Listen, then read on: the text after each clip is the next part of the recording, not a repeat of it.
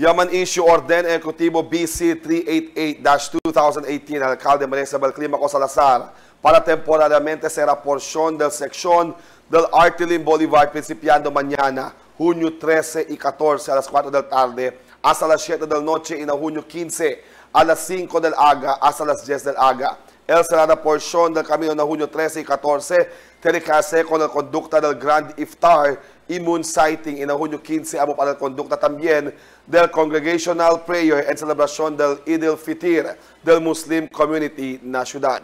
EO number BC 388-2018 is an act ordering the temporary closure of a section of Artilim Boulevard fronting the Bay Walk from the junction of Don Basilio Navarro Road to the uh, across Brent Hospital on June 13 and 14, 2018 from 4 p.m. to 7 p.m. for the conduct of the Grand Iftar and Moon Sighting, respectively, and on June 15, 2018 for the conduct of a congregational prayer in celebration of the uh, Eid al-Fitr, Feast of Fast, from 5 a.m. to 10 a.m.